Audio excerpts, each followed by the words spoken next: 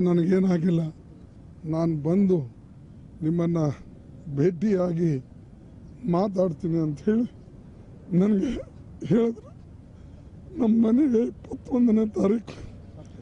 ಸ್ವತಃ ಅವರು ಬಂದು ನನ್ನನ್ನು ಅಭಿನಂದಿಸಿ ನನಗೆ ಅವರು ಕೊನೆ ಒಂದು ಪ್ರೀತಿ, ವಿಶ್ವಾಸದ ತನ್ನ ಮಾತನ್ನು ಹೇಳಿ ಹೋದರು.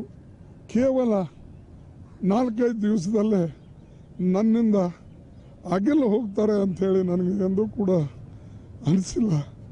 ಇದು ನಿಜವಾಗ್ಲೂ ನನಗೆ ಇವತ್ತು ಭಾಳ ದೊಡ್ಡ ನಾವು ಅನೇಕ ಸಾರಿ ವಿಚಾರಗಳಲ್ಲಿ ವ್ಯತ್ಯಾಸಗಳಿದ್ದು ಹೇಳಿ ನನಗೆ ಎಂದೂ ಕೂಡ ಅನಿಸಿಲ್ಲ. ಇದು ನಿಜವಾಗ್ಲೂ